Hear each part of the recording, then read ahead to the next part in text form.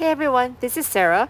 Today I'll be showing you how I did my flower tiger piece. Now I made this very flowery because after doing a few pours, I find that uh, fluid art technique is very useful for um, pouring flowers and I, I thought why not combine flowers and a tiger together and hence this piece was born. Now I was also inspired by um, Coco the movie which is the day of the date. It's also called El Dia de los Muertos um, in Spanish. I hope I got that right.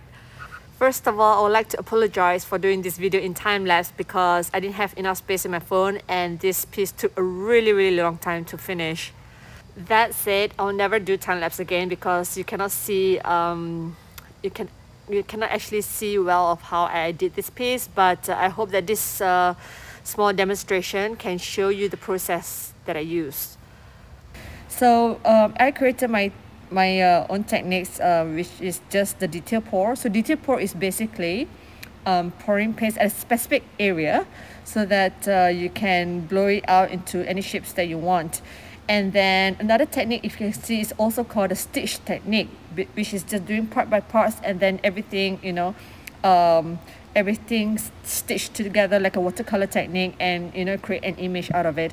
So these are the two techniques that I used that I've created and it helps with a lot of my uh, detail um, paintings especially if you want to do pours into um, images or objects or animals. So this technique is very suitable for that. Um, so as you can see I pour um, I pour um, paints at specific areas and then after that I just go on my I just work my way to the whole um, canvas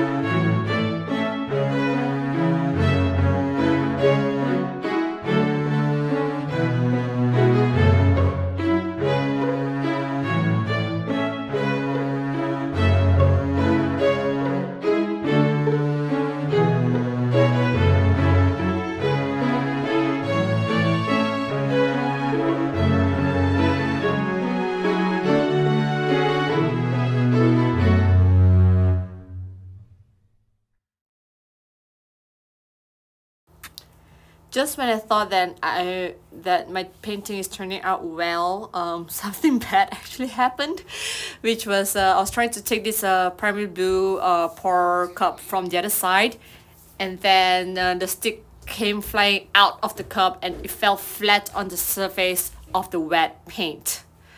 So I was really upset and as you can see I tried to touch out the best that I could and thank God that um, the touch up was a success. So Phew.